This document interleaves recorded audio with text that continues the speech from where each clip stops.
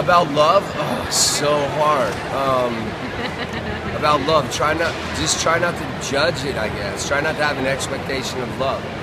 Let it be what it is, and and and it'll blossom into something beautiful. And if you can stay in the moment, oh, that's cool. It's making me emotional. Um, yeah, that's it.